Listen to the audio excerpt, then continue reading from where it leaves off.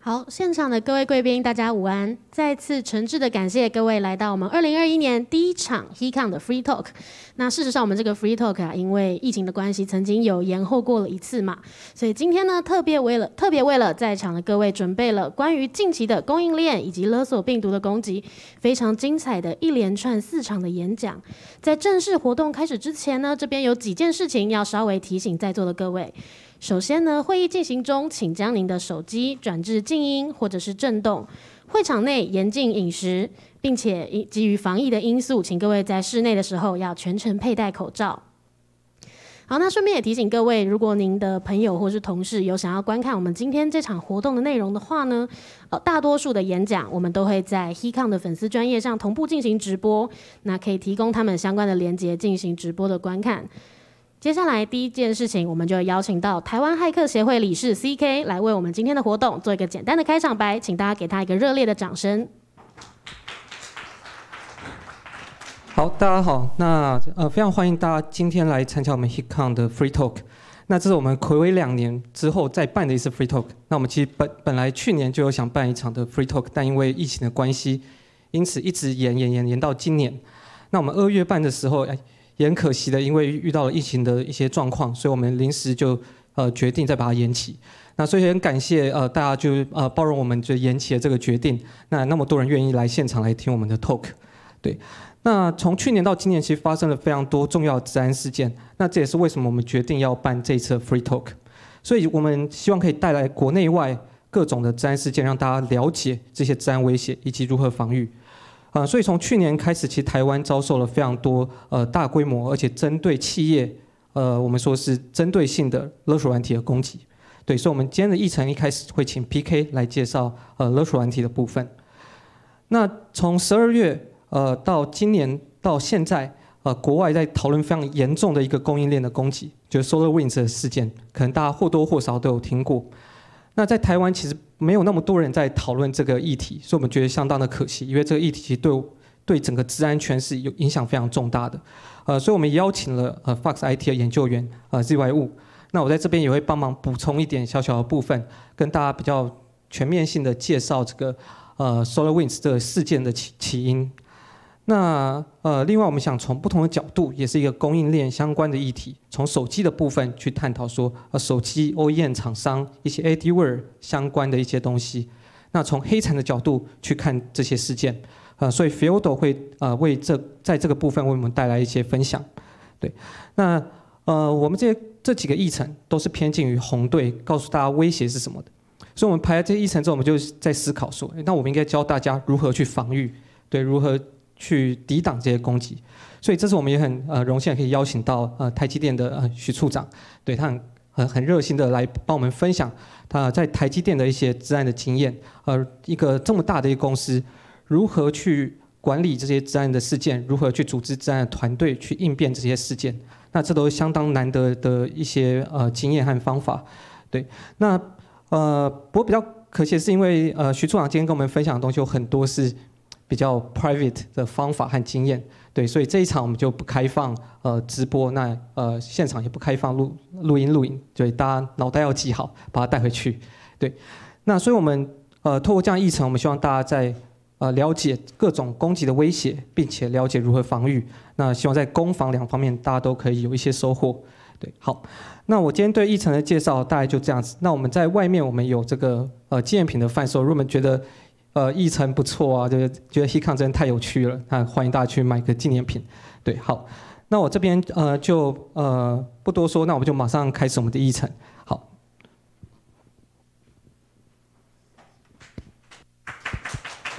近期台湾发生数起针对我国公司的勒索软体攻击，那有别于以往大规模的散布，近来呢针对大企业的勒索软体攻击，偏向透过在企业内部持续后渗透行为，直到控制多数的重要电脑后，再进行勒索软体的散布，以提升他们勒索的效益。在接下来我们即将开始的今天第一场议程之中，台湾骇客协会理事 PK 将从勒索软体的分工及经济模式，探讨勒索软体攻击的趋势，并且以实际与勒索软体对抗的经验，向各位分享该如何防御这类型的攻击。那我们掌声欢迎 PK 的演讲。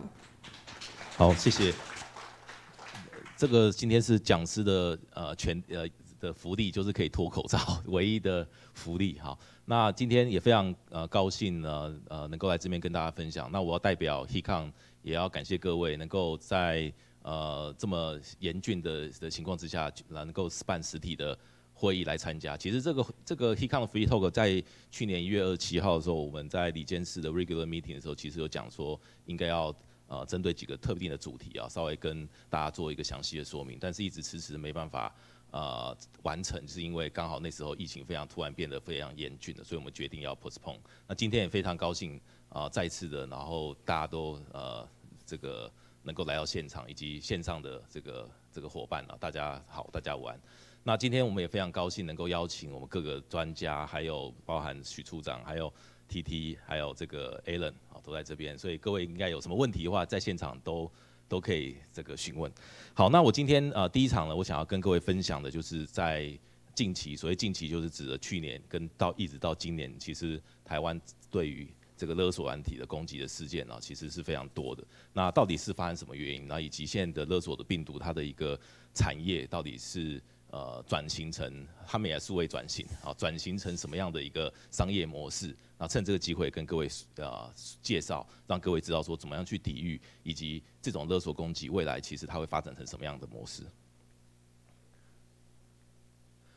好，其实呃，第一个我要先介绍的是呃所谓的针对性的乳资勒索攻击，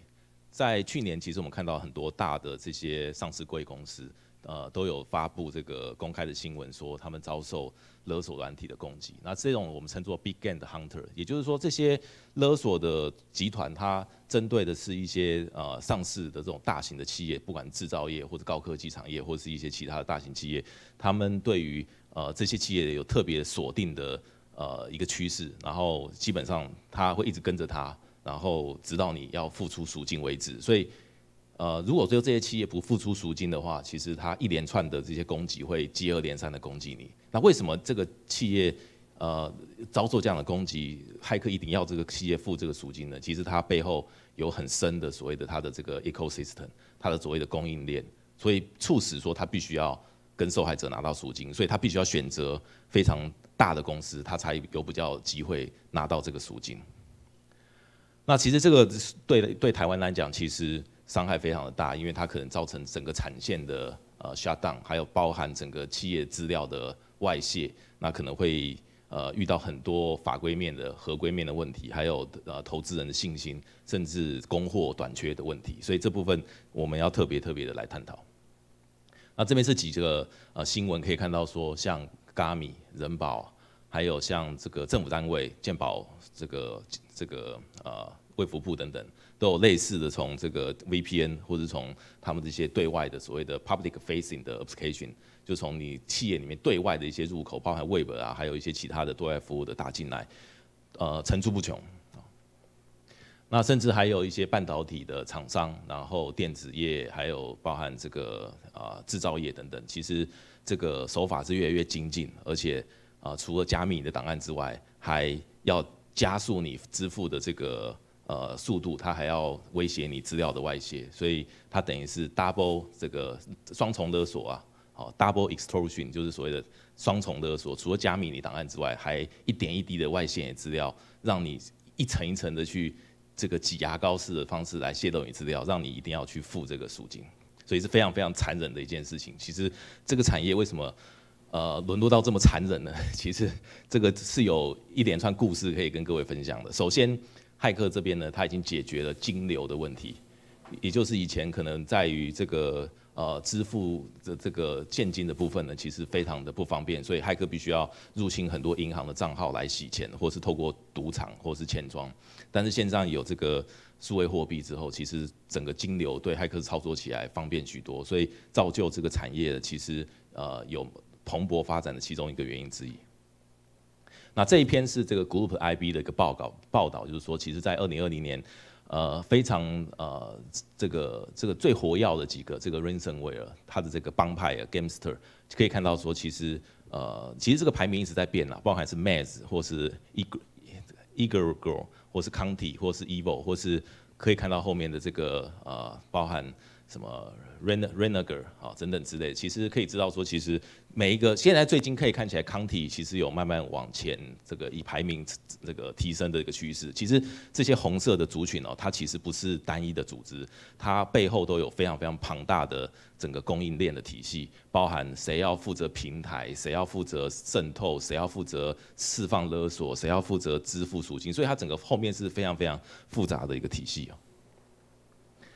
那但是呢，企业呢面临到这些挑战的时候，都会有一些惶恐。那我这边罗列的几个呃，可能企业的呃相关的主管或是相关 IT 人员会会有一些抗生的地方。第一个就是压力跟恐惧，就是说，当你的这个企业所有档案被勒索之后，被加密之后，其实骇客在暗网接下来就开始公布说他已经勒索了加密了哪一个企业，然后接下来还会一点一滴的释放你的资料，所以这些受害的新闻持续的发酵。你单位呢生产闪现又没办法恢复到正常，然后再就是当地可能有一些英办的法遵事项。如果你在欧洲有设设点的话，那可能骇客偷了这个欧洲的相关的一些 HR 的资料的话，其实这个对于 GDPR 来讲，事实上你就要通报七十二小时之内通报，不然就会有罚则。第二个部分就是对于未来跟不明确的问题，就是说到底骇客怎么进入的，那到底有哪一些？呃，solution 可以帮助我，到底能够谁能够帮助我？那未来会不会再发生？那自然事件要如何应处？因为对于勒索的 IR 跟一般的入侵 IR 很不一样的地方是，呃，勒索基本上很多的 log 啊或者很多档案都已经被清掉，但是呢，企业又没办法等你说这个系统完全给你做 IR，然后我先不用生产，我先不用运作，这是很困难一件事情，所以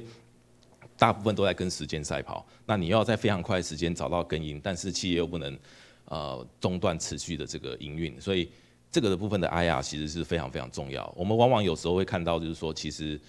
呃很多企业就是说，我没根本没有办法，我不可能跟老板讲说，我这个电脑要先做 isol isolate isolate 之后，我开始做分析调查，因为我现在马上就要上线，所以我只能马上重灌，马上重灌之后，让这个系统能够恢复正常。所以很多时候你重灌之后，其实你就丧失了。呃，找到骇客入侵的根因的机会，也就是说，这种的 IR，如果你为了要让系统赶快上线，你重灌了之后，其实你就会丧失了找到骇客入侵的机会。再就是评估的决策，就是说哪些伙伴能帮我，哪些工具能找到根因，我是不是该支付赎金呢？我的决策时间非常非常短暂了，所以这些就是很多企业主会会遇到的一些难题。当然，企业恢复营运是它第一优先的考量，所以呃，以我们以我们当做这个治安厂商的这个。一方来讲，我们有时候遇到一些客户，他的治安，他的遇到了遇到他被勒索安体勒索之后呢，我们到了现场之后，其实我们发现，其实能帮他做的事情其实非常有限，因为他已经是一个完全被加密的状态，他的所有的系统都不能够被开启之后，他期待的是，他的期待是有你到现场之后可以把它全部解密，然后所有系统恢复正常，这是他的期待。但是如果你到了现场之后，你跟他讲说啊，你要装这个，要装这个，帮你做补强措施，这往往不是客户他优先期待你要帮他做的事情。所以这跟治安厂商在推 solution 的时候是非常非常是 conflict，就是说当客户遇到问题之后，你跟他推呃有一些 solution，但是事实上来讲，客户一点都不 care 那时候你跟他讲的 solution，他 care 的是你能帮我把我的这个档案借回来，然后能够帮我把我的系统上线。所以这中间会有很大的 gap，所以往往往往这些 gap 是什么呢？就是说。能不能解？其实这是一个很很很复杂的问题，绝对不会有一个人跟你讲说我可以解或是不可以解，在非常短时间内告诉这个客户。所以这必须要有一些评估，就是说，第一个，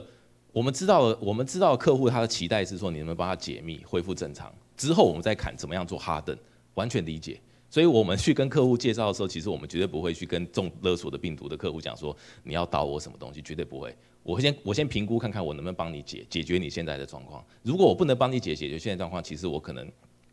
呃不会是这么的 aggressive。那客户的那在中间的 gap 是什么？第一个你要首先，但是你要能不能确认能不能帮他处理这件事情呢？很重要几个关键就是你要先识别病毒的种类，他中的勒索的病毒是什么？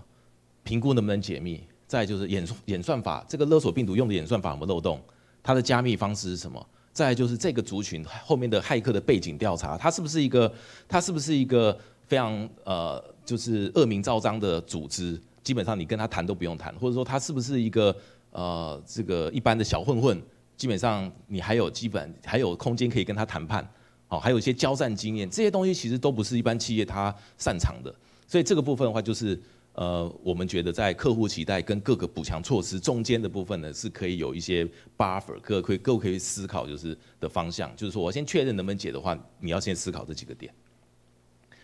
那勒索病毒最喜欢企业的备份方式，这个是我们处理过蛮多类似的的客户的案例啊，就是说，客勒索病毒最喜欢企业的备份方式，就是说，你全部都用网络磁碟机的方式把它挂载。很多企业说，我都有备份了啊，我全部都备份了，但它备份方式是直接用网络磁碟机 mount 一个一个 device 这样进来，这个是勒索问题最喜欢的，因为他只要一进去一台电脑的时候，发现哇，你把他所有的 NAS 全部放到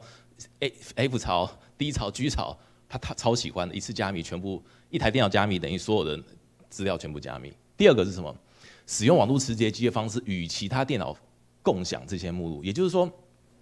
不只是只有一台电脑 mount 这些目录，好几台电脑都同一时 mount 相同的目录，这会造成一个很大的解密困难。什么意思？当两台、三台电脑都 mount 相同的目录的时候，基本上一台电脑勒索加密，另外一台电脑再重复加密，第三台电脑重复加密，基本上加密好几次了。基本上这就解不回来了，档案就烂掉了啊！档案烂掉了，这个我们有发现过，就是说，因为很多恶意程式在 lock，这档案 lock，我要加密，这档案我要 lock，就到最后这档案整个破掉，整个毁损毁了，基本上解不起来了。这是真实，这个是真实的事件哦。那骇客最喜欢加密的资料是什么？人事资料、HR 资料、流程管理相关的，像 SAP，还有什么这个制造执制造执行系统 EM MES。还有什么财务会计系统？骇客基本上就会锁定这几个的资料来加密跟窃取，这是他最喜欢，因为这些资料呢会影响你的企业的营运非常的巨大，所以第一个优先他们就会先找寻这一类的资料。那勒索病毒其实现在我们看到它具有帮派化的一个呃一个现象啊，大致上可以分为两种类型，第一种就是透过 MSS MASS malware service 的平台上架。那另外一种就是什么？没有透过 malware service 的平台上架，有透过这个巴内的平台上架呢，表示它是巨规模、有堂口，我组织有帮派。那没有透过 mass 的巴内的平台上架呢，它就是小混混，它可能还没有办法制成一个帮派。那有堂口的呢，基本上什么？它有一定的成本，这骇客赌很大，所以基本上表示说它基本上没有任何杀价的空间。再来什么？所以它对的，它它的 target 一定是大型的制造业。高科技产业，还有什么等等金金鸡母？有时候我们会发现一些企业刚公布财报之后，它就变成目标了。因为骇客会侦，还骇客也会锁定说，每个上市公司公布财报的时候，看它的营收啊，它来咀嚼于它勒索你之后支付赎金的呃机会。那再就是说，在这种呃有堂口的呢，基本上他手法非常的精良，他大部分都是使用 APT 的的战术来入侵你。那可能是分工非常细腻，包含 Blood Hunt。Cobalt Strike、Empire 这些所有的 PowerShell SKU 全部用上来，那非透过这个 Mass 的巴内的上架呢？第一个，它没有什么成成本，有就算多的，杀价空间大，针对是什么小型制造业、医院、学校等等，手法比较粗糙，但是呢，这个骇客呢，他没有病毒克制能力，因为他的病毒通常是买来的，所以软体的 bug 很多，哦，档案不一定能解，因为可能勒索软体本身有很多这个。day lock 的问题，所以造成它的档案可能会啊加密坏掉，所以就没办法解。但是呢，我们会发现到说，其实金融的木马啊，就是所谓的 banking children，它的这个呃演转演化已经不是我们啊印象中的 banking children。以前我们的 banking children 呢，好像只是针对银行金融业，它必须要偷取一些银行的账号密码，然后取得一些账号银行的账户，它可以做洗钱。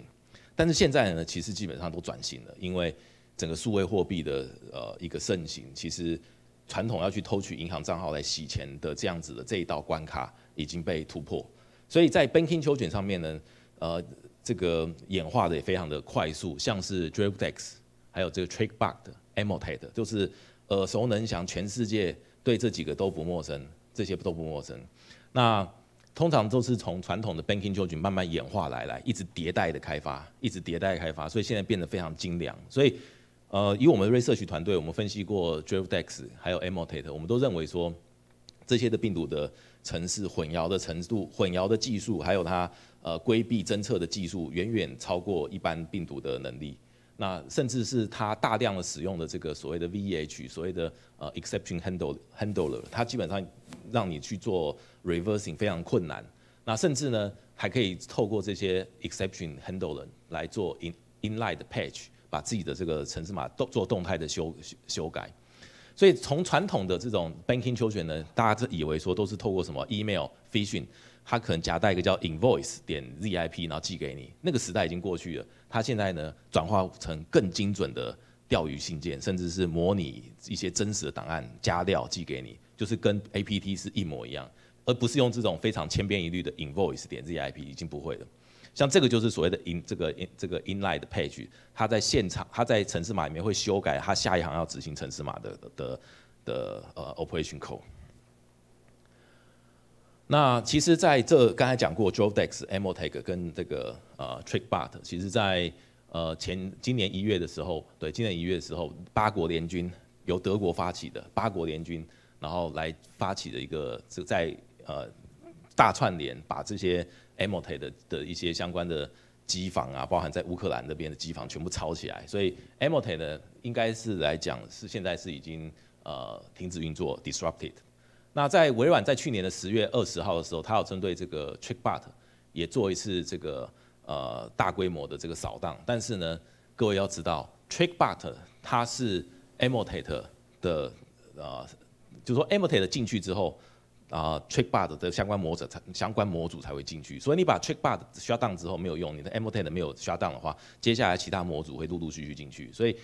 微软在下档这个这个 TrickBot 的时候，其实没有获得很大的成功，因为 Emotet 还是活着，所以等于它的这个渠道还是通的。但是这次八国联军呢，把这个 Emotet 给 shut down 之后，事实上来讲就造成了这个整个的。维运的困难，Emotet 的整个维运的困难，其实真真的很困难，因为这要结合这个所谓的国际刑警啊，各国的执法单位来做。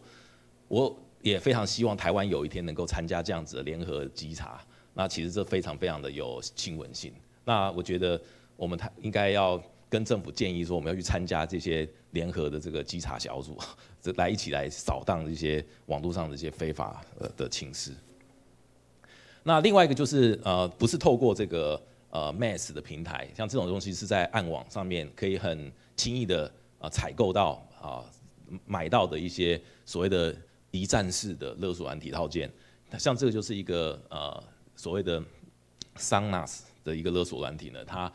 呃在暗网上兜售，基本上这个只要拿到这个工具之后，你就可以自己。自己发起一次的勒索的攻击，例如说产生 key 啊，你要躲避什么样的侦测啊，你要你要 n 胎什么什么东西啊，你要加密哪些档案的类型啊，甚至是勒索信息你都可以自己定，你把它写成中文你可以，但是写中文的话你 你会被抓到。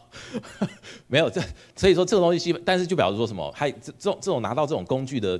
呃 script kid 的 kid 的，基本上他要改他的那个能力啊，就没办法没办法改，所以他只能使用这些工具，所以说变成说很多这种。呃，小混混啊，也可以从暗网这边取得到这些一站式的服务哈，来发起一些小规模的呃这个勒索攻击。但是这些小规模的攻攻击，各位以为以为它也也算规模小嘛？其实也不小，因为通常发起一次规模，它也大概可以平均来讲，大概获得获得大概五颗左右的比特币左右吧，还是会有企业付钱的，大概五颗左右的比特币。以现在如果以五万块美金来讲的话，二十五万美金。但是这边不是要鼓吹各位以及线上的人去做这件事情，因为还有很多东，还有很多方式可以追踪到你的哦，就是不要轻易去尝试。对，但是这些这些骇客呢，大部分都是东欧那边为主的，乌克兰或是呃俄罗斯这边为主的为居多。因为各位，我告诉你为什么不要轻易尝试，因为这些这些病毒的后门啊，这个病毒它本身自己有埋后门，所以你启用它的时候，基本上它都知道你，所以很容易就会知道你在哪里。所以你不要以为说这么便宜的事情。发生在你的身上，绝对没有的。那透过这个 Mass 的这个上架平台的，为什么我们会要强调说，骇客一定要打到这个企业支付赎金为止呢？因为从第一层，它必须要透过什么？必须要透过 TrickBot、Emotet 这个巴内的平台这个渠道来散播这个这个勒索软体。所以第二层是什么？勒索软体的这个提供商。第一层是巴内的 infra 上架的平台的提供商，那最下面是什么？受害者主机、受害的受害的企业。所以，如果说你没有从受害的企业取得到赎金的话，他要支付他，还要再支付相关的一些呃供应链。所以你基本上来讲，如果这一次他勒索的企业没有支付赎金的话，对这个骇客来讲，他没办法跟他的供应链交代，所以他会呃，等于是说他会赔钱了，他一定会赔钱，他没办法跟上面的供应链交代。所以在上一层的这个微软或者八国联军在 shut down 的这个 Barnet 呢，就是 Trickbug 跟 Emotet。那现在下面这些这些都还是活的哦，康体啊、Rike 啊、Bazaar 的这些都还活的哦。所以对他来讲，他只要再找另外一个平台上架就好。那各位可能觉得说，哎，微软不是全部都把它 disrupted 吗？其实这个跟我们在看电影的这种这个黑黑帮角色一样，你把一个黑帮的头头做掉之后，你以为就天下太平吗？不会，因为马上就会有一些小弟变成黑帮的头，所以接下来可能 Drodex 啊或者其他又变成是 Emotet 一样，但是会需要一些时间来发展。所以这个是这个这个是一个永无止境的一个循环了。所以在呃以色列有一家公司叫 Clear Sky，Clear Sky 它。有追踪康体的这个这个相关的这个呃数位货币的钱包位置，所以他有发现到，当他收到赎金之后，接下来他会分送给上游各个的 self service provider，所以的确是跟刚才讲的这个 ransomware service 其实上是有 link，也就是说，他从骇客这边，他从受害者那边支付到拿到赎金之后，他要一层一层往上支付，也就是说，骇客对于这个目标的选择要非常精准，因为他要评估说你到底会不会付钱，所以他不会付钱的话，其实基本上对他来讲他就是亏本。所以他一定要找这个营收好的，哦，有营收的，然后再就是好打的，然后呢，基本有国际知名的。所以他把你档案加密之后呢，基本上还要偷你档案，偷你档案之后呢，就要迫使你要付钱，不然我把你的所有企业资料全部外泄在暗网上。所以这这样子的话，其实基本上来讲，完全正中了企业的的恐惧，内心的恐惧。所以这部分的话，其实基本上，其实这个攻击行动背后还有很多其实是心理心理的面的一些啊攻防。像这个 double payment 也是非常常见的，这个透过这个温生温生温生威尔斯 service 方式上架。那其实它它通常是透过它的载体呢是什么 DraftX 啊 Emotet 啊，透过这个这个 spam mail 方式啊，第第一次这个 stage one 先呃让这个呃受害的这个单位呢中毒，透过 email 方式。那像这个之前我们看到那个呃像人保还是用这个这个 double payment。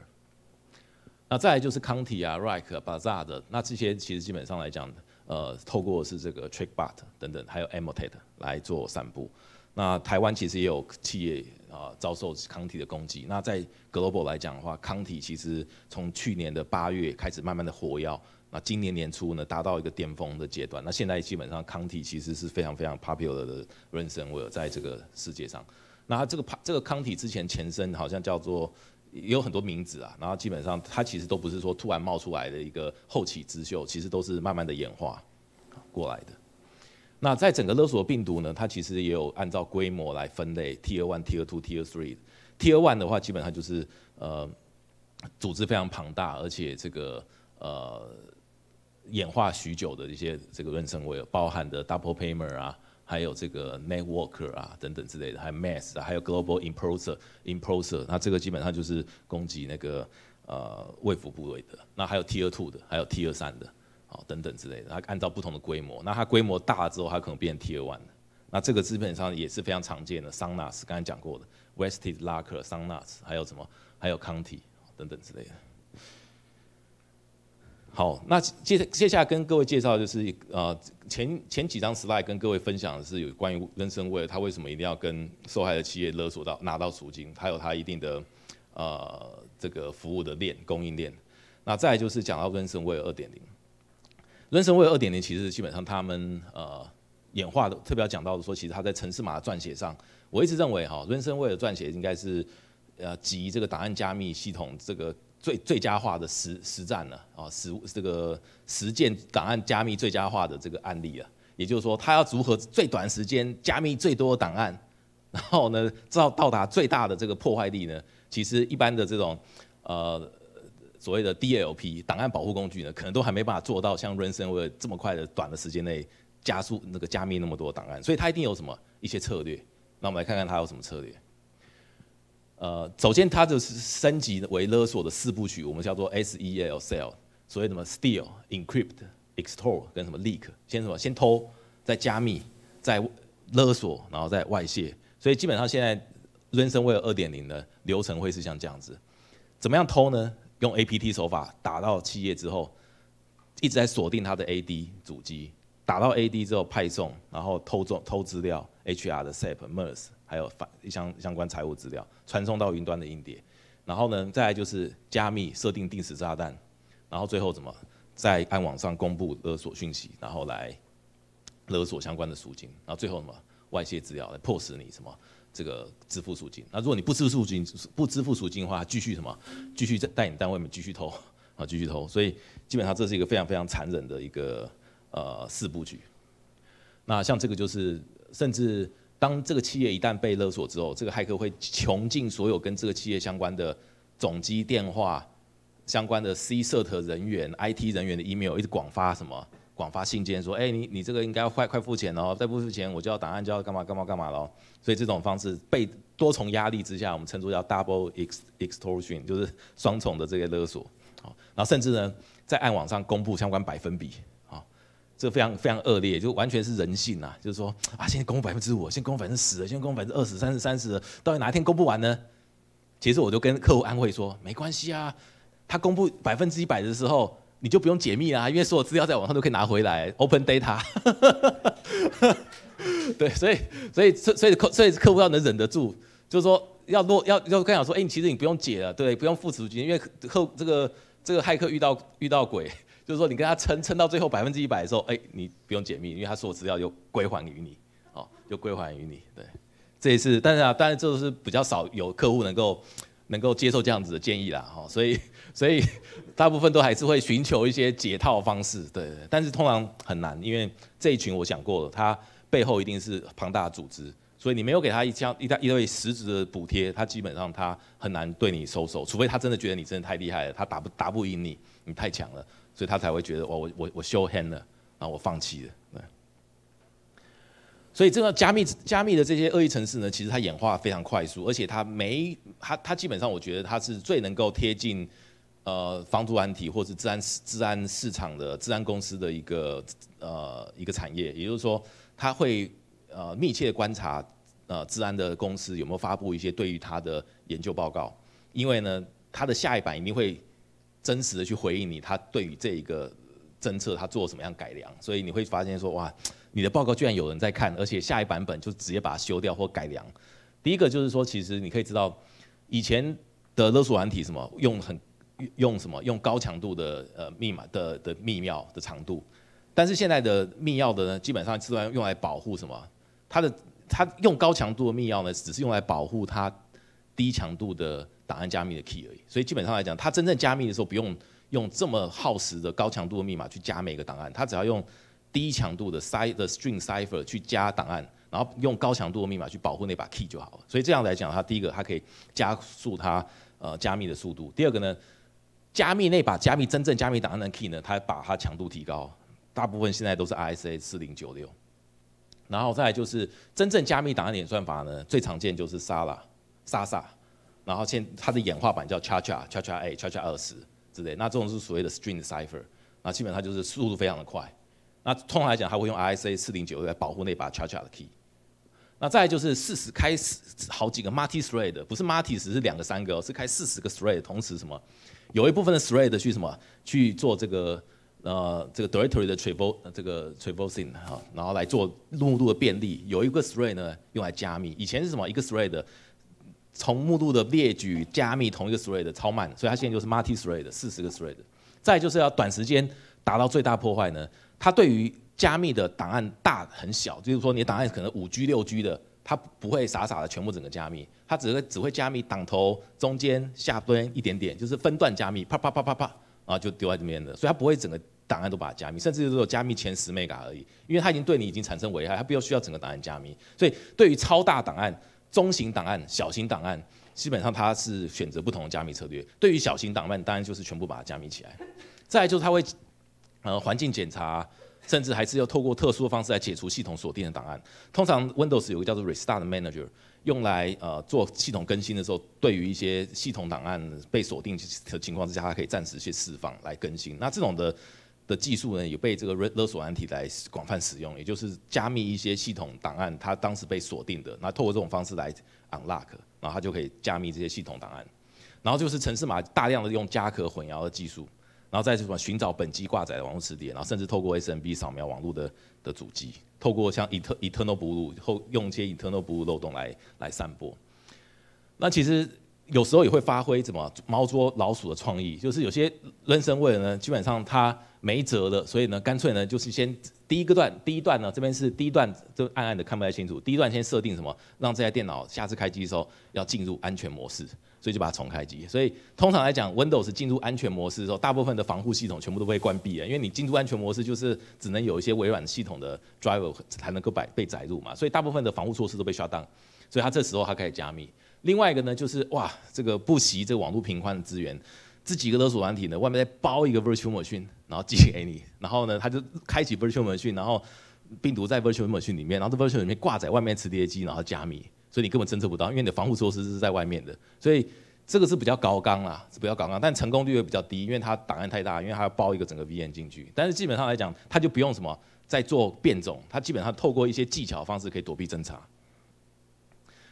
那但是有时候也是在在设计上面其实有些问题，那这个问题其实我们就可以探讨说，我们有办法帮帮帮呃受害单位来做解密，然后看这个 ransom 它本身自己在加密这个部分有没有一些演算法的缺失。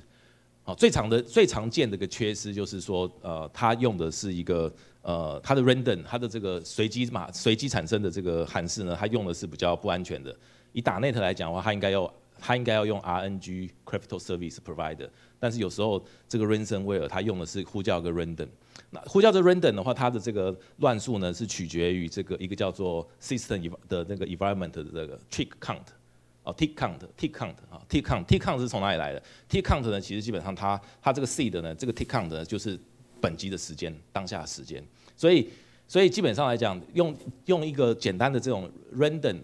来做这个。密钥的产生的话，其实基本上是可以被破解的，因为我只要知道它加密档案的存取时间，我就可以推算可能它在呼叫 random 的时候，它当下的系统时间。那这样的话，我就可以反推它的那个 key。但是这时候要非常非常精准，你可能要踹很多次，因为那要非常非常的精准才有办法。Michael 可能要非常的微妙，所以说你要写一个 range，然后去踹。所以事实上在讲是可以解的，所以大部分现在可能很多 r a n s o m w a r e 的修正都是用所谓的 RNG Crypto Service Provider，那这样的话基本上就比较没办法这样做，那甚至是完全都是用千张的城市，所以跟合法城市是是一模一样，所以这边写 Additional OK。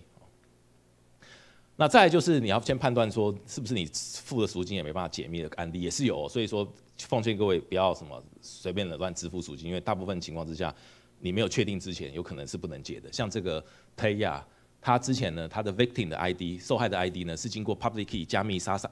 那那个 Sasa 的 key 呢，然后在 base base 五十八把它做 encode，然后变成一个 victim 的 ID。所以你知道说这个受害者他对应到的 Sasa 的 key 是什么？但是后来他有一次修改之后。这个 victim ID 变随机产生，然后 Sasa key 呢加密完之后就丢掉了，所以没有跟 victim ID 做 link，所以等于是说连骇客自己都解不回来这个东西，因为他没有那把 key 的记录了。所以以这种情况来讲的话，你知道他勒索软体是没办法被解密回来的，所以基本上你也不用你也不用抱任何的呃的希望。那再就是要 watch out 你的 AD，就是其实 Ransom 它为了要达到很快的部件扩散，它对于你单位的公司企业的 AD 非常非常非常有兴趣。从 phishing email 到这个 decode 的 document，就是钓鱼的信件，安装后门到 lateral movement，它其实所用的技术，尤其是 lateral movement 这边你可以看到，它基本上像这个 Metapreter 啊 c o b o Strike、Empire、AD Find 啊，还有 NTD 有 NTDS Utility，这个 NTDS 是呃。A D 上面来储存 hash 的一个档案，骇客最喜欢拿这个档案的。那微软刚好有个工具叫 N T D Utility，刚好可以去抠那个档案的，当做来建立一个 snapshot，建立一个副本把它抠出来。所以这档案被抠出来之后，A D 上的密码都很多会爆，就会爆破出来。所以你很多 A D 的使用者账号密码就外泄。所以这是骇客最喜欢呃这个抢占的这个途径之一，就是说拿到滩头宝之后，就指导你的 A D 去窃取你这个密码档案。所以你可以看到很多。呃，像康体就非常擅长用什么 Cobol Strike，然后 Cobol Strike 的相关的这个配这个这个 Beacon 的 Beacon 的的的 UIL 是非常常见，还有相关这个 AD 的探测指令，那甚至呢透过这个 WNI 的方式来执行，然后透过 Arclone 呢把它上传到这个呃对外的这个储存空间，所以对于企业来讲的话，呃就无声无息的基本上就把你资料全部拿走。那在这边跟各位分享了一下我们的交战的分享，跟康体这边交战的一个分享。那这个这个是一个实际的例子哈。那我们可以，这这是我们呃对一个客户里面的环境里面，我们发现到一个一个情况，就是说康体的这个组织呢，它在这个客户电脑里面有设置了一个排程，这个排程在二零二一年的一月一号的时候会执行一次。啊，这个这个执行呢，其实基本上来讲就是。各位，一月一号的什么凌晨零点，这个大家都在跨年的时候啊，也就是说在去年跨年的时候，他其实想要让这个企业难堪，所以他设定了定时炸弹，在二零二一年的一月一号晚上的凌晨零点分的时候启动，然后来引爆，因为那时候应该是企业里面最少人的时候，那基本上全部都已经针对很多台电脑全部设定好所有排程了。那遇到这种情况之下的时候，其实基本上，呃，企业怎么样先去做应处？那我这边想要跟各位介绍，以这个例子来讲，这个客户呢，他。我们总共花了将近呃四个礼拜才呃做完它整整个 IR 的这个呃前置的动作。那在这个客户里面，它总共是六六万大概六千六千台电脑。那我们发现有七十七台电脑有高风险，不是说七十七台电脑都中毒，但是有些账号密码外泄之后，它透过一些内网主机来做跳板，所以会列在这七十七台里面之内。发现十二支后十二支的恶意程式，而且呢。呃，骇客设置一个定时炸弹，在二零二一年的一月一号之后要引爆，所以这时候我们对他进行了一连串的动作。第一个，组成一个专案团队，透过 EDR 方式先见识调查他整个场域的情况，然后样本分析，看看这个病毒是什么哦，还有病毒之外，还有就是他用的一些手法。再来呢，制作这个数位的疫苗，因为没办法那么快的接触到。没办法那么快接触到这个客户所有的电脑，所以为了要防止他一月一号这些恶意程式不要启动，所以我们特别制作了一个数位疫苗。这个数位疫苗呢，基本上就是类似人体的疫苗运作方式极为类似。我们会去看这个系统，这个恶意程式，这个病毒启动的时候，它会哪一些环境的条件，所以我们会在这些电脑上面预先把这些环境条件设置上，会误以为会让这个病毒误以为这台电脑呢已经中毒，所以它就不会启动了。所以这种方式其实非常的非常酷，所以就等于是说，我先让这个病毒，我先让这个病电脑生病了，然后呢，病毒下次来的时候，结果发现其实基本上你已经感染，我就不感染了。所以这样的话可以让这个病毒呢在那一天不会启动。所以在这边我们制作一个数位疫苗，先先大规模的派送安装，因为它有些电脑是 offline 的，没有联网的，所以比较麻烦。接下来再开始清理恶意程式，开始找根因，最后骇客的溯源，因为你把每一个探头宝慢慢移除之后。骇客就可以开始拿出他之前进入的相关的管道，VPN 账号拿出来，AD 账号再拿出来，哎，什么什么中继站再拿出来，就他慢慢掏出来的时候，你就慢慢收割、收割、收割，收割到最后的时候，基本上他就没辙，没辙之后，他就会再用更进阶的方式来做。那你再收割、收割、收割、收割，用用一连串的这种呃持续化疗，你才有办法恢复，才有办法恢复。所以说这种东西都没办法在呃一天一个礼拜完成的，不可能的，不可能的。那这是我们制作一个数位疫苗的一个案例哦，这个档案呢全部都是公开的，那我们只拿来当做仿真。那可以看到说，呃，现在目前这台电脑是没有安装数位疫苗，然后这些档案都还是好的，所以执行了一个抗体的呃病毒程式之后，可以看到说这些档案，这些档案应该都会被加密起来，P D P P D F file 可能就会被啊置换成别的档名，然后被加密起来。好，马上你看啪啪啪。全部换成其他档名了，换成这个 ULGPC GPC 这个档案，然后勒索讯息出来了。那这些这个这程式呢，原先是设定在这个客户的电脑上面，预计要在二零二零年一月一号启动。那我们把它 restore 回去，我们再看一下，如果安装这个数位疫苗之后，会有什么样的效果？然后那时候我们特别做了一个这数位疫苗给这个客户，然后呃客户派送，然后安装之后呢？它就有这样抗体，就有这样抗体，然后再去执行这个抗体呢，它就不会执行了，它就不会执行了。这种概念呢，我们就把它导入到我们的 EDR 的的设计概念、设计理念。我们就是说，让我们这些客户都可以享受到，不是说每一则勒索病毒都都有效，因为就像你去打流感疫苗，今年流行的也是也也不可能 cover 全部嘛，对不对？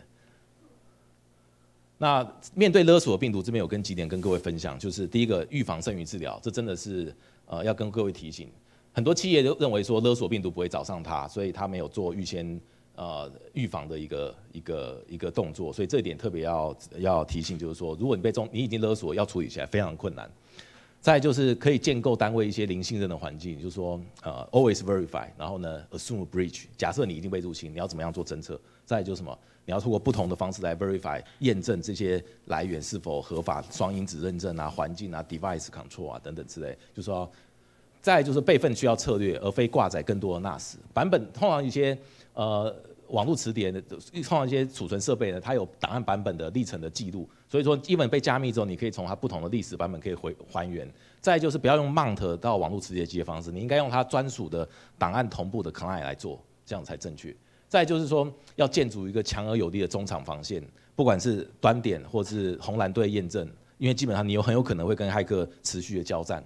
零 day 其实经常有，哦，因为各位认为说我的防御做到百分之一百，我所有的东西都在防御上面。但是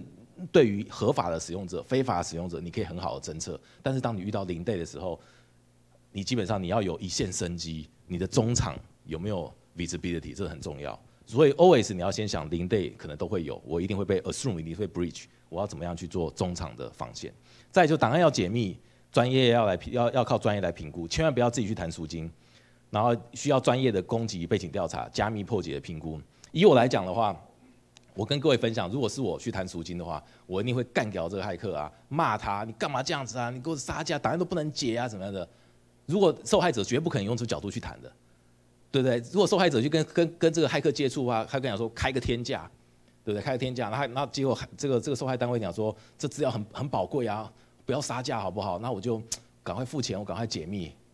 这种是绝对不会谈到成的。像我们的资料不是我们的，资料不是我们的啊，反正我就哭骂骇客啊，然后跟他跟他跟他跟他谈啊，对不对？然后一直蹂躏他，然后一直折磨他。然后呢，到最后他放弃了。但是我告诉各位，重点不是在于说用这种激烈的手段，重点是要在这个过程之中，你要去了解骇客的想法，他愿不愿意帮你解密。其实这就是你谈判跟他建立一种情感的过程。你要先了解他会不会帮你解密，而不是贸然的去投入这样的资源。对，好，所以说意思就是要交给专业的来，不要自己去乱搞啊，这样是不会成的。好，以上是简单的介绍，那希望呃各位有一些收获，那欢迎之后我们来做探讨，谢谢各位。好，那我们再一次感谢 PK 带来的精彩分享。碍于时间的因素，我们这边就先不做 Q&A，那稍后会有休息时间。如果对我们前面这两场议程有什么想法的话，到时候休息时间也可以再跟我们讲师直接做互动。好，第二场议程是 SolarWinds 供给链呃供应链攻击事件分析。那自从去年十二月 FireEye 遭受到攻击，并且造导致他们红队的工具泄露之后呢，SolarWinds 供应链攻击就逐渐的浮上了台面。它的攻击严重以及深入程度，甚至直到最近这个月，都还有研究团队在持续发布新的发现。透过供应链上的重要厂商，攻击者不但能够大规模攻击下游使用者，更会造成难以估量的危害。接下来的议程，我们邀请到 Fox IT 负责恶意程式分析、事件调查与提供威胁情报的威胁分析师 ZY 五，与台湾骇客协会理事 CK，他们将以 SolarWinds 供应链攻击事件分析为主题，说明事件的始末以及此攻击的严重程度与攻击手法。并且向大家分享该如何透过外部情资分析潜在受害者，来提供企业建议的应对方式。请各位给他们两位一个热烈的掌声。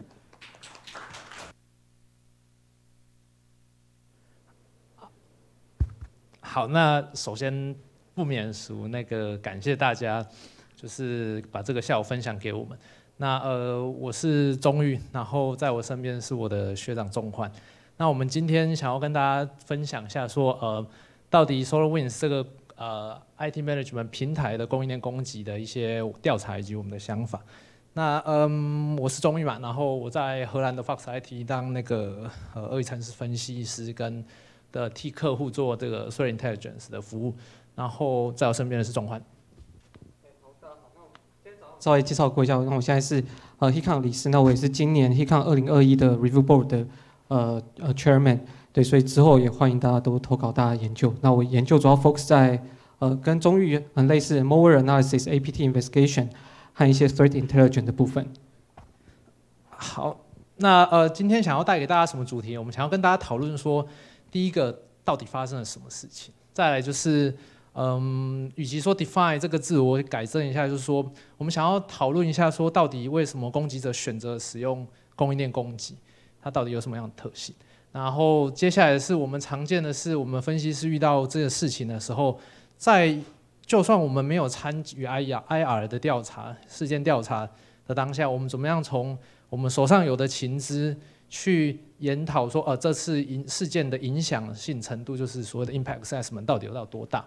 那我们会用一个常见的手法，第一点就是，当我们在找这种呃比较 espionage purpose 的，比较像是偷资料攻击，它到底在找什么样的目标？因为或许可以告诉我们说，他想要呃他的 motivation，他到底他的目的是什么？那还有是为什么我们要在 free talk 讲这个议题？到底他有哪里是特别的点值得拿出来讨论？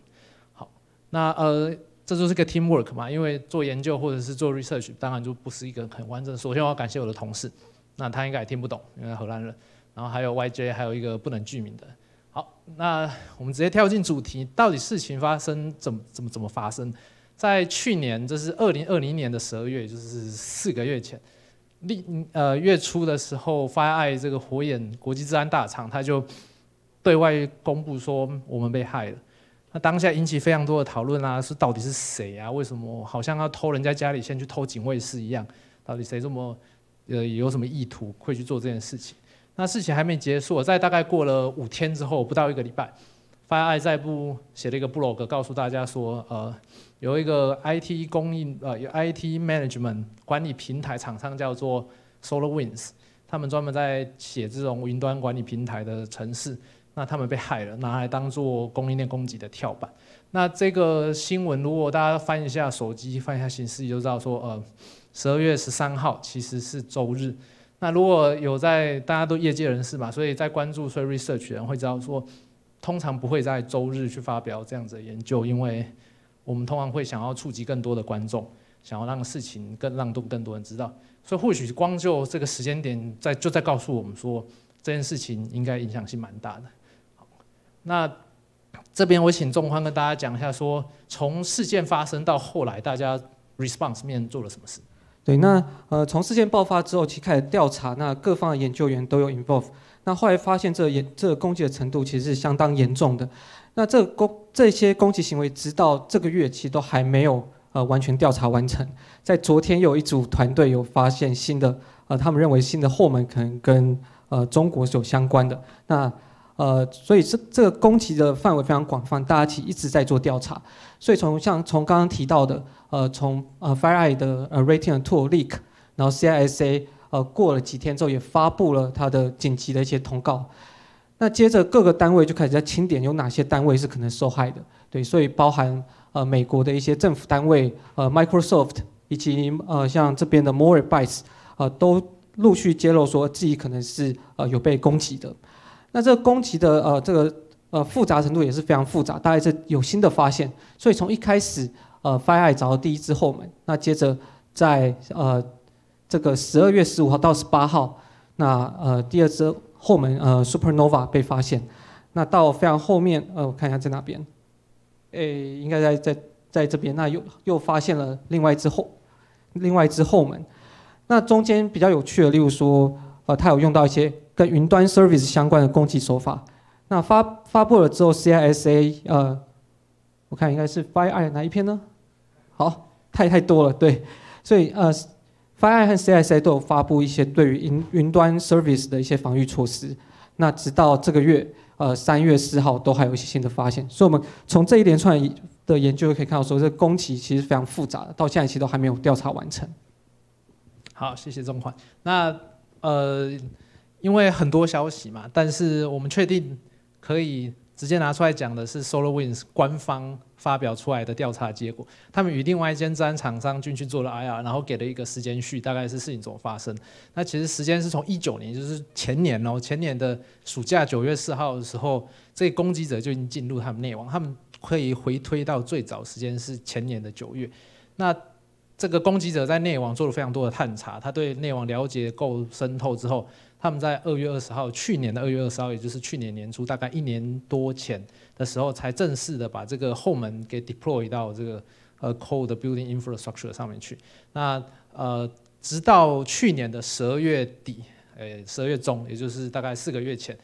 这个事情才呃，SolarWinds 官方才知道，呃，有这个后门的存在。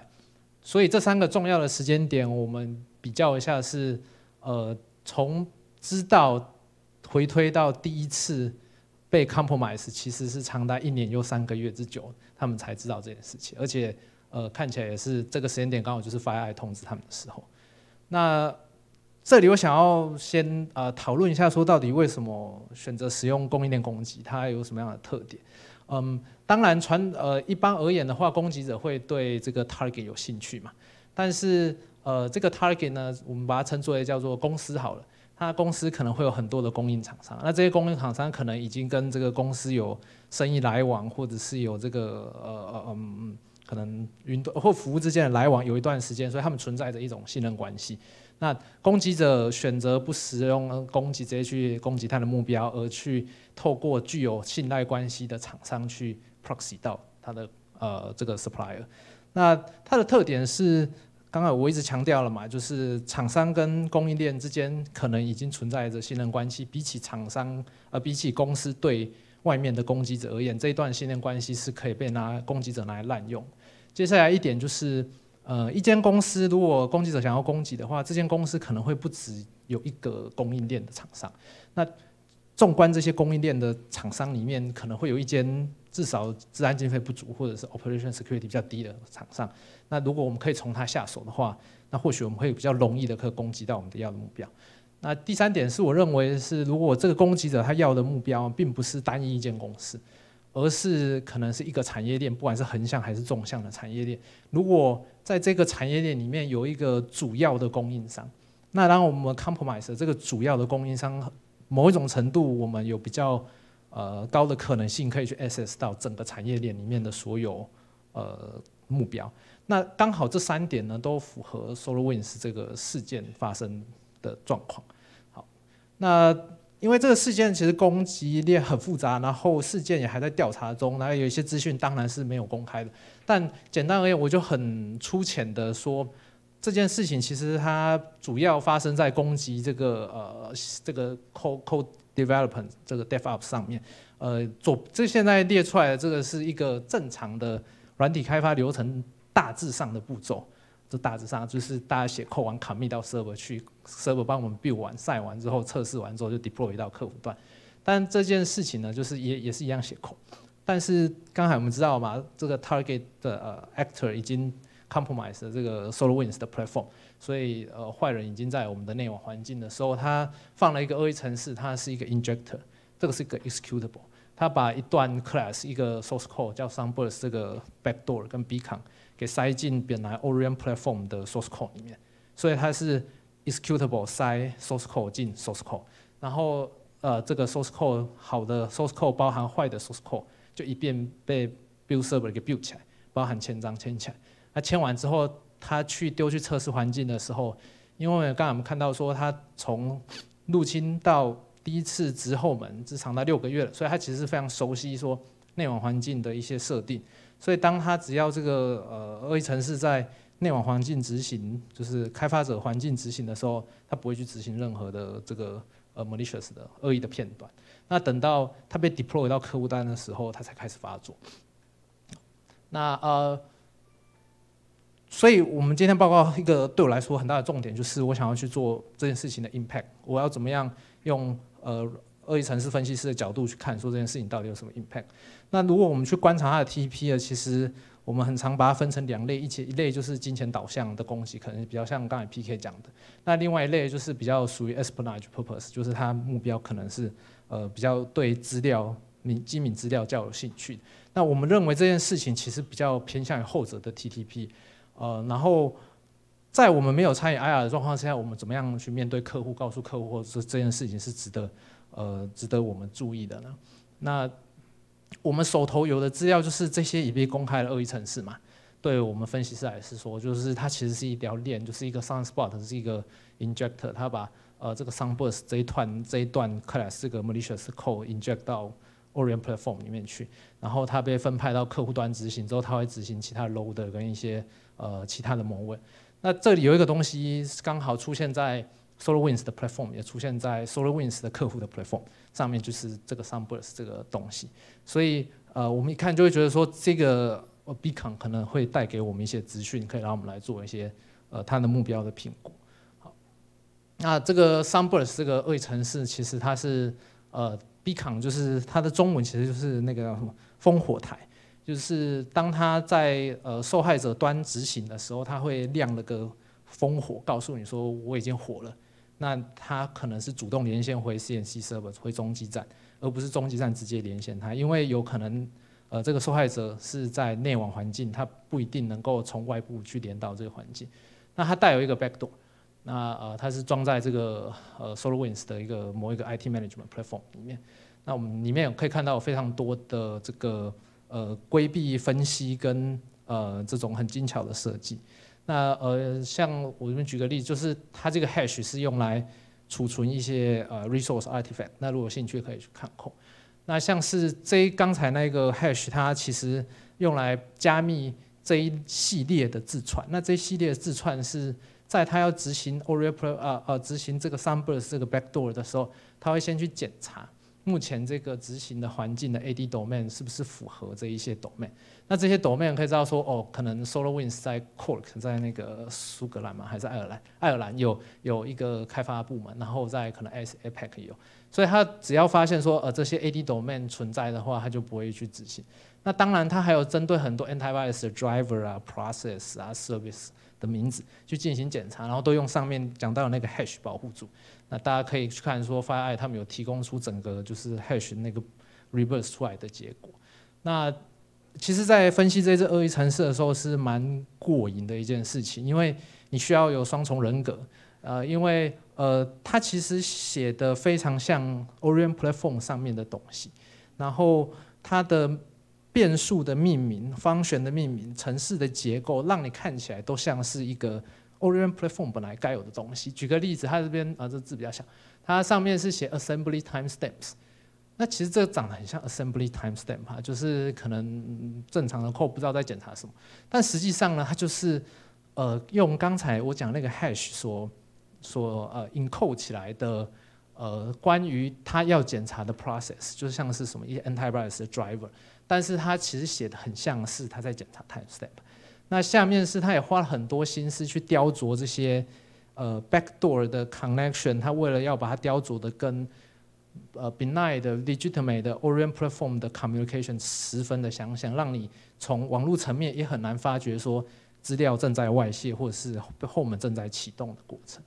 那嗯好，所以这个呃这个二这个恶意程式大致上它有两个 stage，这边跟我后面要讲的东西非常有关联性。然后，呃，这两个 stage 是一分为二。第一个就是这个 stage 是用来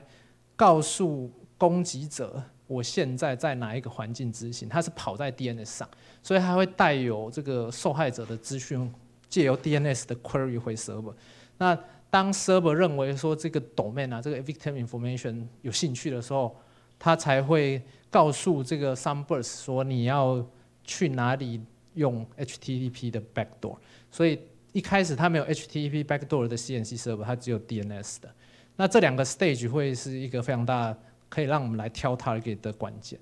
呃，像举一个例子来说，当我们发现说，呃，有一个这样子的 query 的时候，其实，呃，哎呦，跑掉了，没关系。刚好这个 prefix 呢，就是呃，它带有 victim information。如果我们呃，细节我就不讲了，大概就是我们去 reverse 它，我们大概知道说它怎么 encode 的，所以我们把它 decode 出来。其实它前十五 byte 就是一个根据呃受害者产生出来的独特的字串 GUID，后面带的就是呃十五 byte 的这个 AD 的 domain，就是跑这个恶意程式 AD domain，然后后面这一串都是呃呃固定的写死，所以我们可以知道说呃这个 AD domain 可以从一它第一阶段 stage one 的 beacon DNS request 去抽取出来。那，嗯，DNS 这个 protocol 呢，因为它是没有加密的嘛，如果 default 上它没有跑 SSO 上是没有加密，所以我们如果有办法在 network backbone 塞一些这种 sniffer log，我们可以知道说在这个 A 时间 B 地点到底谁对哪个 domain 有兴趣。那这这笔资料呢，我们把它称之为 passive DNS，因为不是我们主动的去 query，而是这里的人在讲什么话，算是我们在 passive 的 log 它。那这个 Sunburst backdoor，我用这个简单的 finite state machine 去代表说它怎么控制它里面的状态。那呃，我们看到会有两个颜色嘛，绿色跟蓝色。蓝色是这两个代表两种不同的 encoding。那呃，这个框框内的东西是代表它 encoding input 是什么。所以总共会有看到四种的 DNS query 的 format。因为蓝色会有两种 encoding，绿色会有两种 encoding。那一开始恶意程式执行的时候，它是在 passive 的 state，也就是说它会带这个呃 AD domain 回去 CNC server。那 CNC server 再根据这个 AD domain 去决定说这个 AD domain 是不是他有兴趣，再进而是否选择要给一个 error 的 response，让这个 s u m b u r s 可以跳进第二个 state 使用第二种 encoding。那当然跳进第二种，它就会使用不同的 encoding，我们稍后再说。所以刚才这两个例子就是分别是呃呃呃，这一个是我刚才举的例子嘛，就是这个 DNS query 呃把它 extract 出来它的 domain，那刚好它的 input 就是 domain 的前前十五百跟十五百以后，所以这两个 GUID 相同，我们就可以知道说哦，这个 GUID 对应的 AD domain 是这样。那这是一个。美国的一个州政府所拥有的呃这个 AD domain，所以就是说这个美国州政府曾经跑 SolarWinds Orient Platform，然后成为一个 target 过。那是不是我们只要有刚才那一些资料，我们就可以知道说它的 target 是谁呢？我们再回到很前面说，我觉得他们的 TTP 比较符合这种 espionage purpose 的。那通常 espionage purpose 的我们的经验是，它比较不会这么海量的针对呃大量的 target 有兴趣。像是我们看到 passive 的在 passive 的 state 就两万多个 entry，就是这这些可以说是 SolarWinds Orient Platform 的用户。那如果我们有办法再往前推，推到下一个 state，推到 active 去的话，或许这可以告诉我们说这个 attacker 到底在找哪样子的目标。那再回到这 FSM，当他跳到 associated，就是嗯，他第一个那个 DNS query 过去。Server response 他一个 error，然后这 error 是 some burst 认得懂的时候，他就会开始带一些 time step 跟他正在执行的 antivirus 回 server。那如果 server 在确定说，哎，这个是他要的东西的时候，他会 send 一个 CNC 的 server，就是 backdoor 的 server，在 CNAME 这个 DNS response 里面，它跳进了 active。那因为它进了 active 之后，有可能 HTTP 的 CNC 会需要更新嘛，所以它还会。呃，持续的在 active 这个 state 发 DNS 的 query，为了要更新自己的 HTTP 的 CNC，那这时候他就会带一个 active bit，告诉 server 说，告诉 DNS server 说，呃，我我有现在 HTTP 的 CNC，但是要不要更新取决于 server 这样。所以这里的关键点就是，如果我没有办法拆拆这个 DNS query，拆到里面有一个 active bit 的话，我就可以很确定的说，这一个 target 曾经有呃。HTTP 的 CNC server，也就是说它可能有操作过后门。那它是不同的 encoding 嘛，但细节就也是这样省略。那像以这个为例的话，它带了一个 active 回去 DNS server，然后跟一些 timestamp，还有它没有装呃那这个 antivirus。那这个 GUID 呢，就是我们刚才看到说它第一个 encoding 的时候，它有 GUID 对 domain 的 mapping。我们只要把这些东西记录下来，我们就可以反查说这个 GUID 对应到哪个 domain。所以说这个 domain 曾经有 HTTP backdoor 装在上面过，那这个东西就是我刚才贯穿都是用同一个呃 victim 来解释，它是一个美国州政府的 domain，所以嗯，我们列举说我们做出来的结果，我们 input data 进去，到底有哪一些是攻击者在 target 的目标呢？首先，当然。呃，这个新闻都已经讲清楚，就是美国的政府其实是首当其冲。我们会看到有些 NGO 啦，一些呃美国的州政府或者是中央政府。那接下来比较有趣的是，呃，这个 critical infrastructure 就是这 energy 产业，像是美国的这个大石油公司也在名名单上。那还有就是美国的国防部，然后还有这个 NSA 美国安全局的内网也也出现在名单里面。那最后一个就是，我觉得其实这个攻击还蛮特别一点，就是它是首先它就是冲着自然产业而来的，就是看到有一些我们的同业在上面，那包含着一些做网络通讯设备，还有一些大的科技业也都在名单上面。那他们也有陆续出来做一些 response，做一些调查，也很多也正在进行中。那呃，所以我想要最后再回到这个三个角色为例，我觉得身为呃防御者一方，我们常常在害怕我们里面有一些 inside 在漏我们的资料、偷我们的东西，我们也害怕外面人打进来，但是或许我们要看一下，说我们的供应链厂商是不是呃也被 compromise。那接下来我想要把麦克风交给呃我学长仲宽，让他做就是供应链攻击跟以往之间的比较，还有一些他的想法。好，谢谢钟宇。好，对，那呃之后呃，刚刚我们已经介绍了，就是关于这个攻击的，例如说 malware 部分以及 protocol 部分，然后有哪些受害者。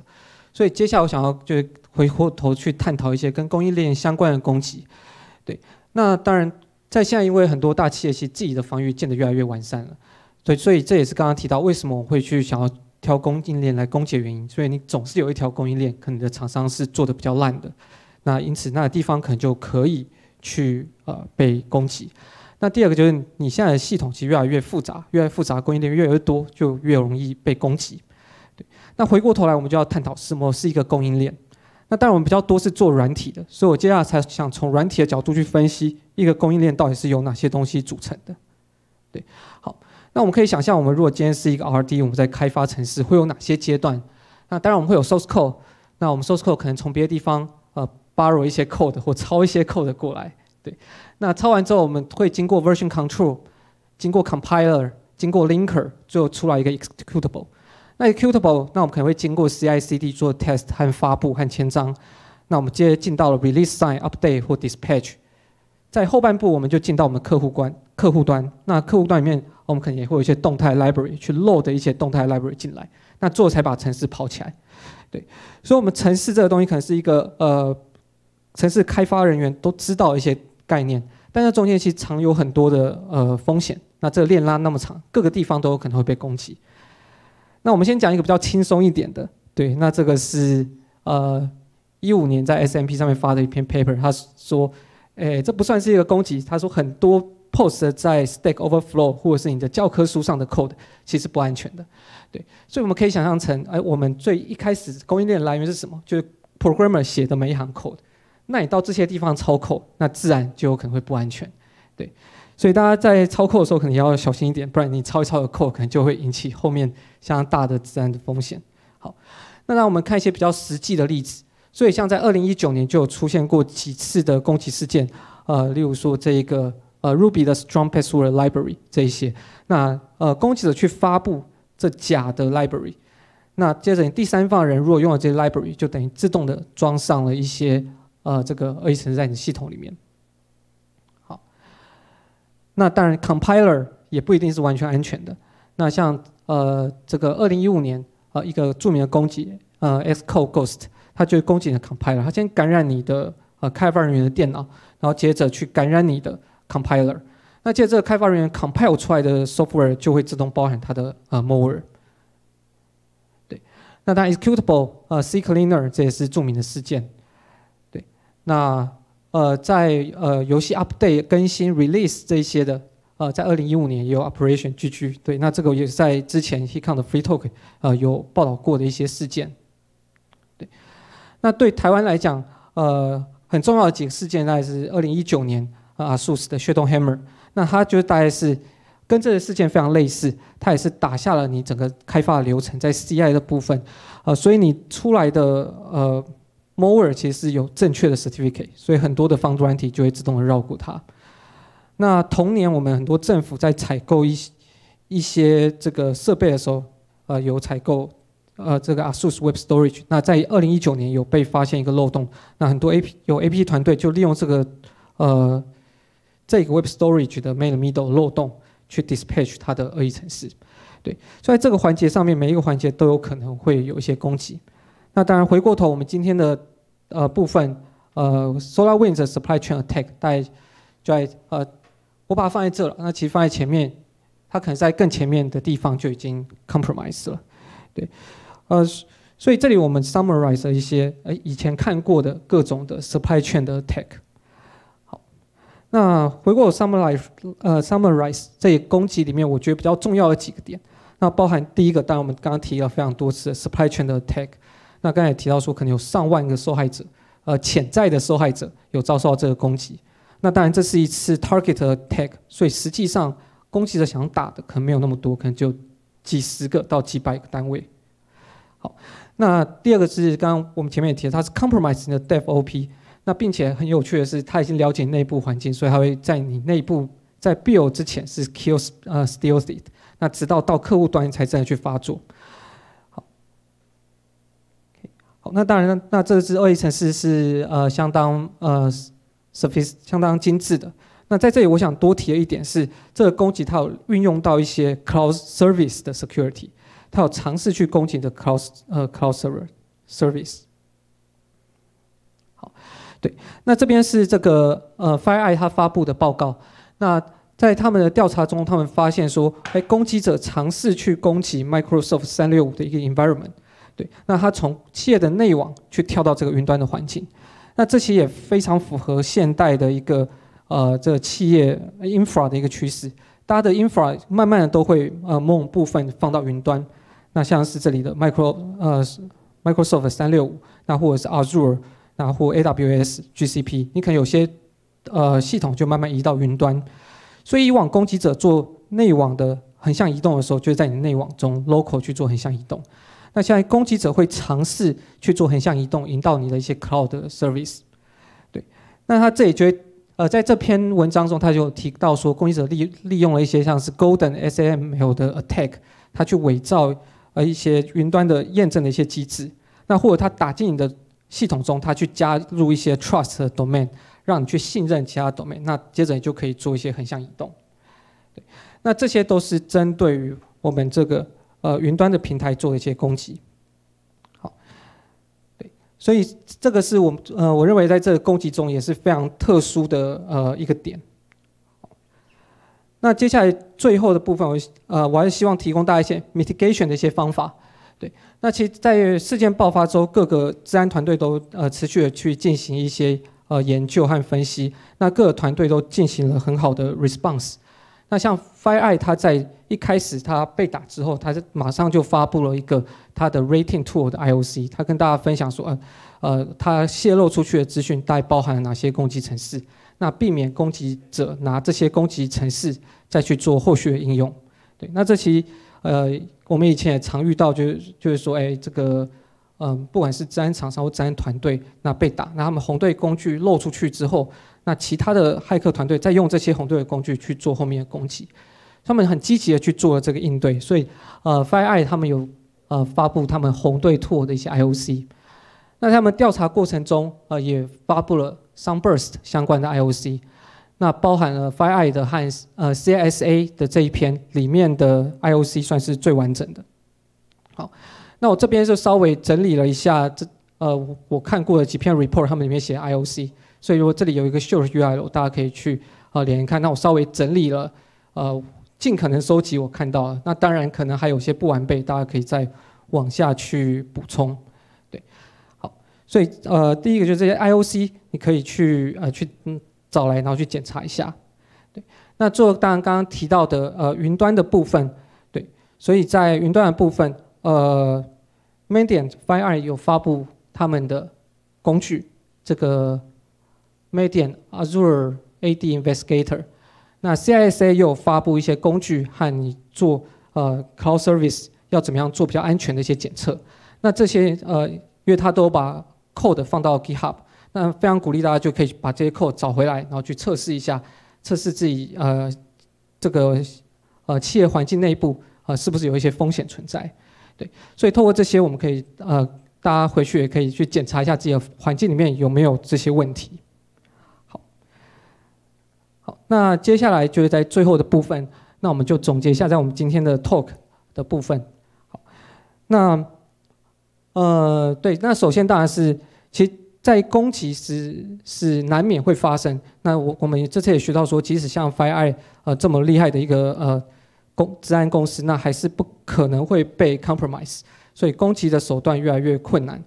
对，所以我们更应该做 proactive 的 threat hunting。那我觉得最更重要的是，我们要去 response，去呃对这些 incident 要做好的 response。所以我觉得 FireEye 这是他们的的行为其实我觉得做得非常好，是他在发现问题之后马上进行调查，调查完之后就跟整个社群和产业去分享说，呃，他这些东西到底会有什么风险，然后告诉大家说，哎，我要怎么样去避免进一步的事件的扩大。那从这个事件开始，后面大家才会发现啊，SolarWinds 被打了这么严重的一个攻击，对，所以我觉得是我们要对这些 incident 要去正面的去去回应它，那并且把自己的一些发现、自己的一些观测到一些攻击行为，跟呃社群和 security 的团队去呃去沟通以及去分享这些东西，那可以这可以加速我们应对整个攻击，去缩短应对攻击的一些时间。好那这次的攻击最重要的几个点，那当然第一个，这是一个非常严重的 supply chain attack。那第二个，它 compromise 你的 DevOp，对，所以今天呃不只是一般的呃业务有掌管资料的人，你现在你的城市设计师其实也是非常容易被针对的一个攻击对象。那呃，接着像我刚刚前面提到的这个攻击，另外的特征特特性，我觉得就是它利用了很多的 cloud service，尝试去用 Little movement。把然后去改修呃去拿到一些 cloud service 的一些权限。好，那呃，那接下来就是呃 supply chain 的 security 对于企业来讲呃呃仍然是一个很容易去忽略的点，而且很难去监控监控。那除非你的企业真的大到一定的程度，不然你很难去跟你的呃供应商呃去要求他去加强他的 security。那这可能就需要大家一起加强的部分。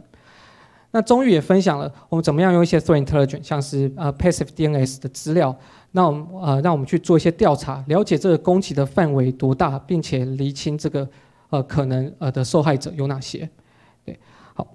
那当然，那最后对，那 cloud service 当然可能是一个新的 attack vector，在未来企业可能或多或少都遇到这些问题，那可能会被攻击呃用用来做利用。